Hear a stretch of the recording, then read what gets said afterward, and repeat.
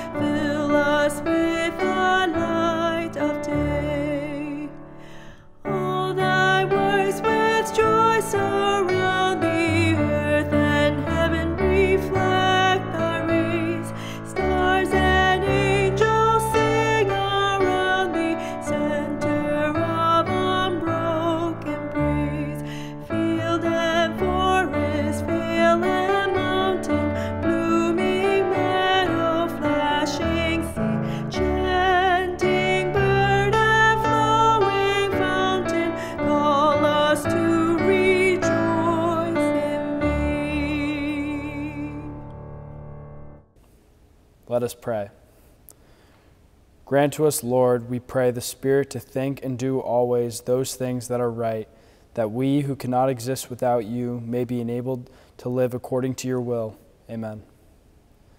I ask your prayers for all who live in the work in the borough of Pottstown. I ask your prayers for all who govern hold positions of authority, especially the may- mayor and borough council, the governor, and the president. I ask your prayers for all whose lives have been touched by tragedy, whether by incident or by deliberate act.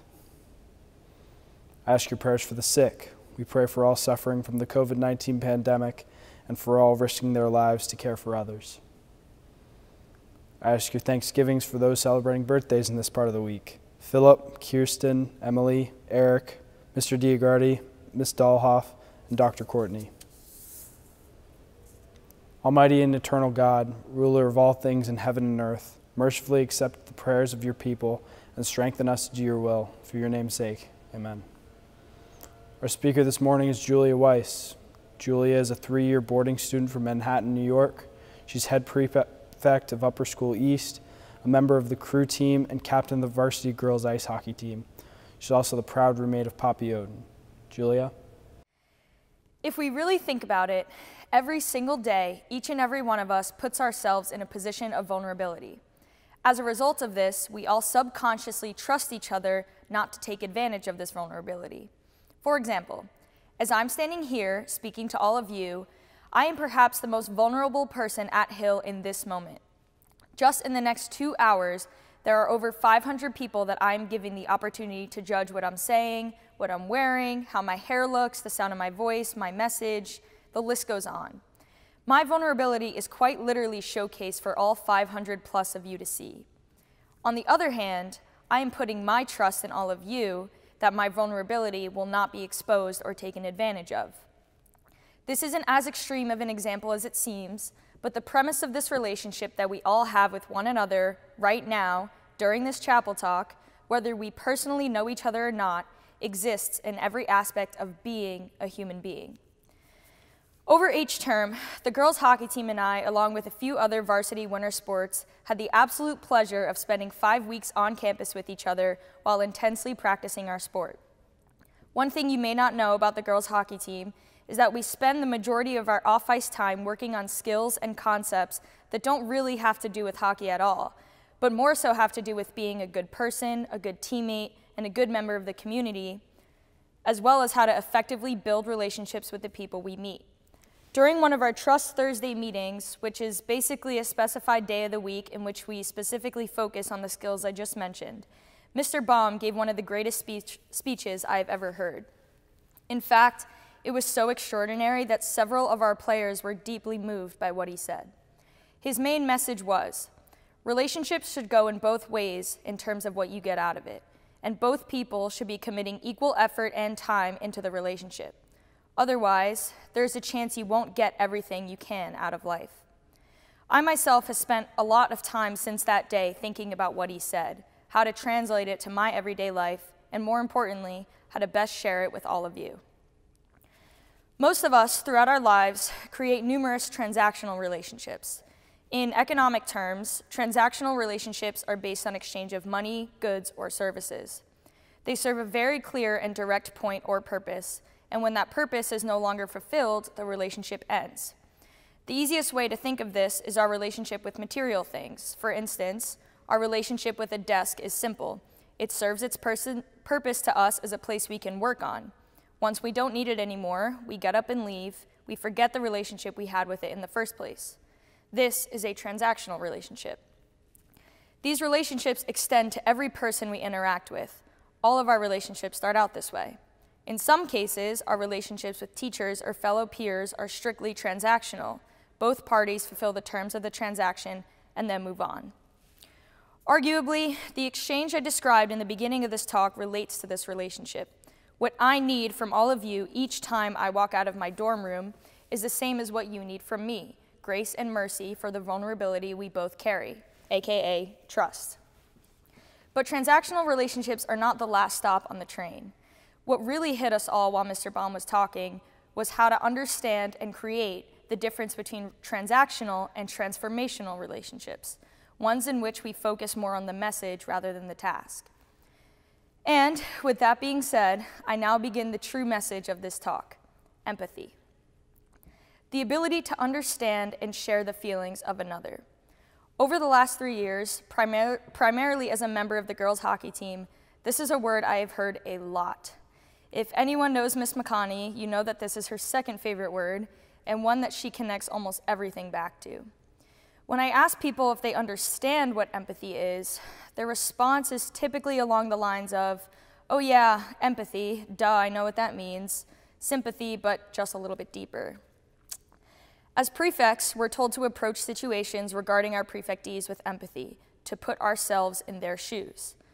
While I think the majority of us, both students and faculty alike, understand this concept, I don't think we have actually processed how important and impactful this idea is.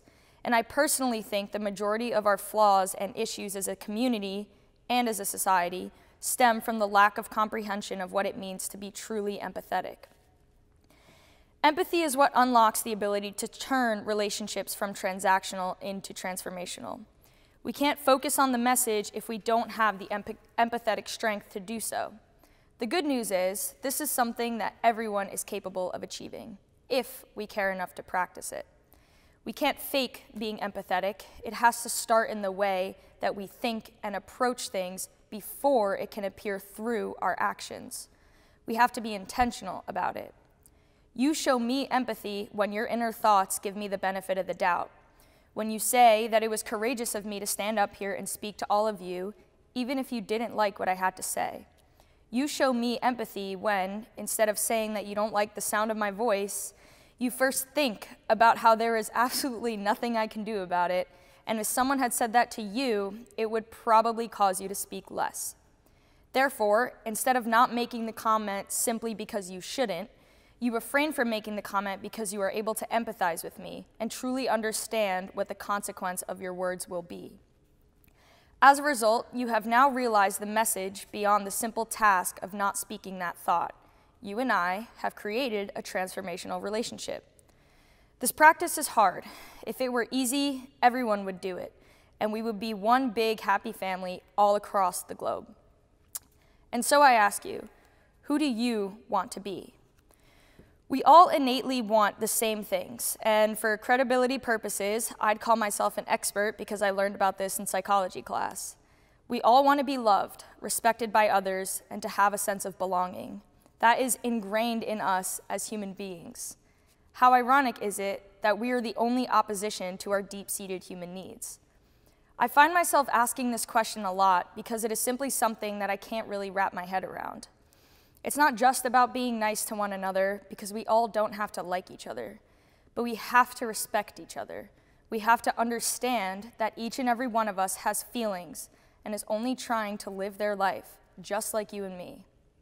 As a school, we talk a lot about building bridges and creating relationships that will transcend this campus. that will carry us into the real world so we can be effect- effective, efficient, and contributing members of society.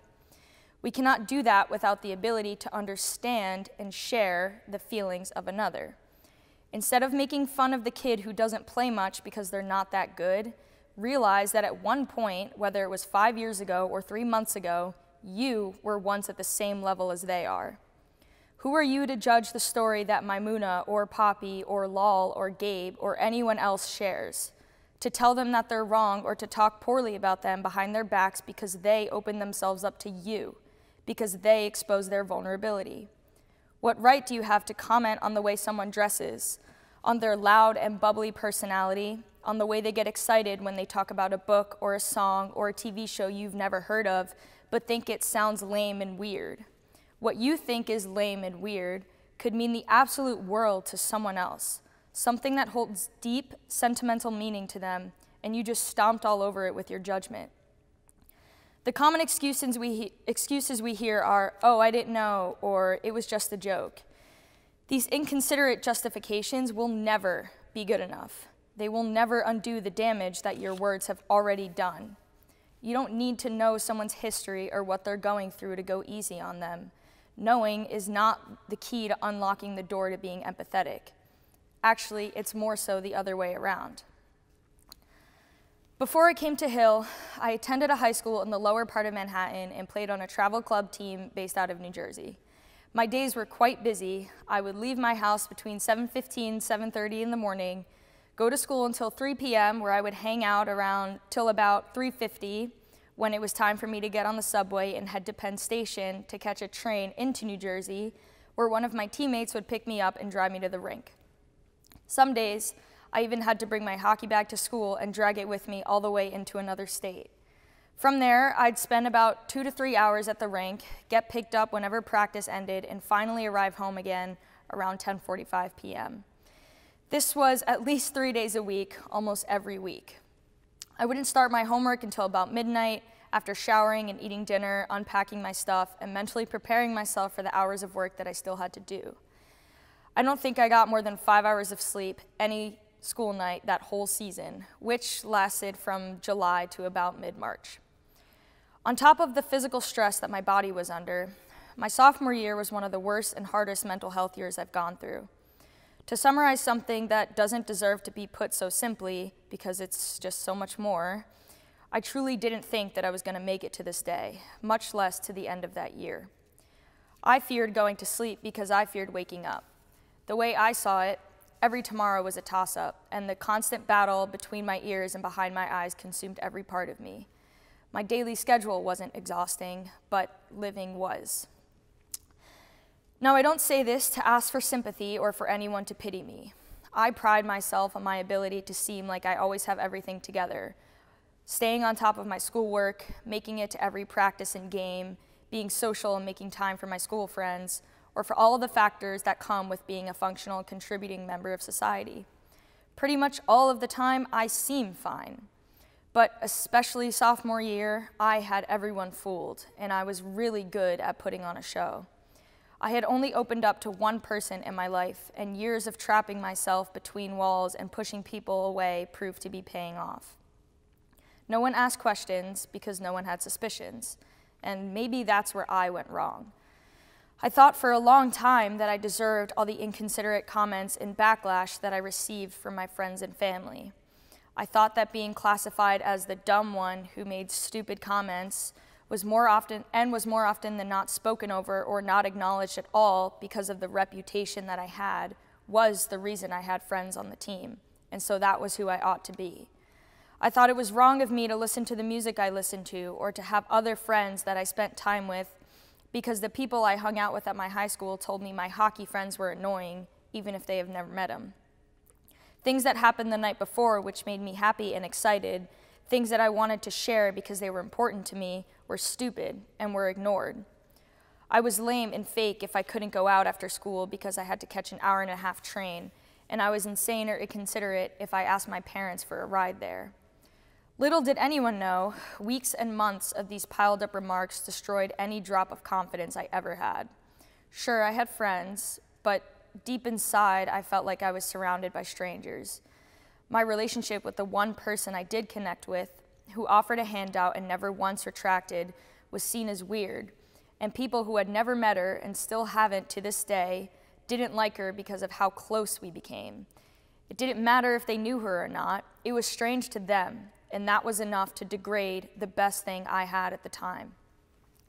Unfortunately, my story is not a rarity. All around us, right now, are people with their own struggles and battles.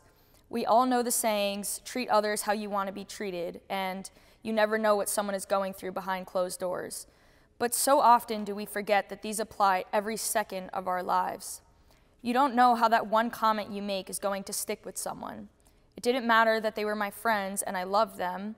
The things that they said were engraved in my brain, haunting me as I lay in bed at night, echoing in my head every time I opened my mouth to speak. In fact, coming from people I loved and depended on hurt worse than coming from a stranger.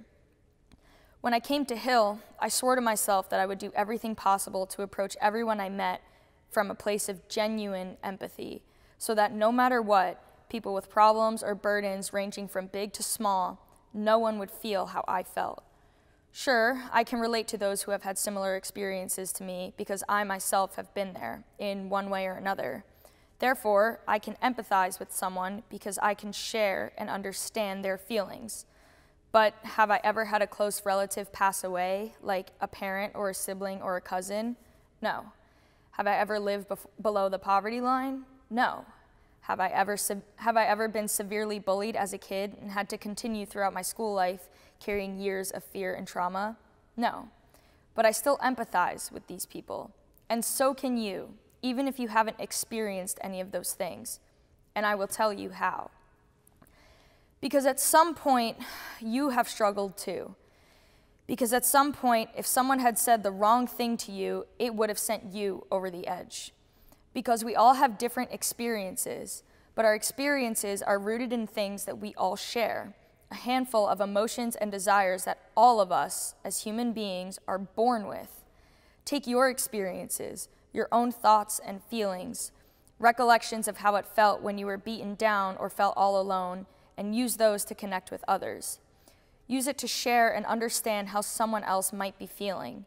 Give them the benefit of the doubt and cut them some slack. For better or for worse, one comment or lack thereof could be the difference in that person's day, week, month, or even lifetime. Of course, we may not have a way of actually knowing the impact we make, but the trust we exhibit in each other is what that relationship and interaction even if only brief, transformational. I think if not I think most, if not all, of the adults at the school would agree that adopting empathy as a top quality is one of the most important and worthwhile quests one can ever go on. If you don't mind, I'd like to challenge all of you, students and faculty, to spend just one day thinking about this.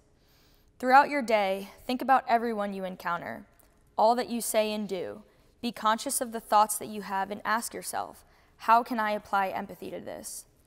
I think what you will find is that you can apply this to almost everything. I think you'd be surprised to find that if you truly think about this concept, you will start to see people differently. You will appreciate them for who they really are. You will develop a sense of love and caring for them, even if you don't really know them, simply because they are a fellow human being who wants the same things that you want acceptance, understanding, and a feeling of belonging. You will find joy and satisfaction in realizing that you can give that to them. We can give that to each other. Empathy is not a political issue, regardless of race, religion, gender, sexual orientation and identity, cultural or economic background. Stripped down to our bare bones, we are all the same. We are all human, and we are all part of humankind. I'm not asking us to be perfect and walk around giving out free hugs and loving everyone. Again, we don't all have to like or love each other, but we have to approach each other with empathy. Start now, because if not, one day you'll wake up 75 years old, surrounded by a bunch of receipts from all the transactions you made, wishing you could have transformed them into something more. Thank you. Go in peace to love and serve the Lord.